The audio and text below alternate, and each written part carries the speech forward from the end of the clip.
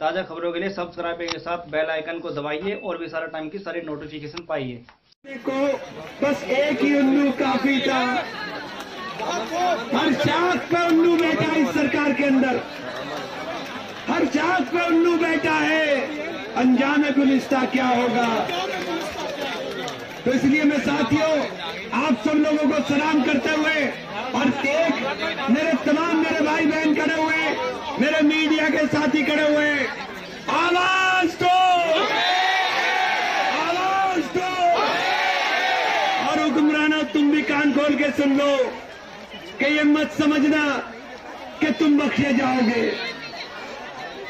जो किया है उसका एक एक बात का एक एक चीज़ का हिसाब इंशाल्लाह सुम्मा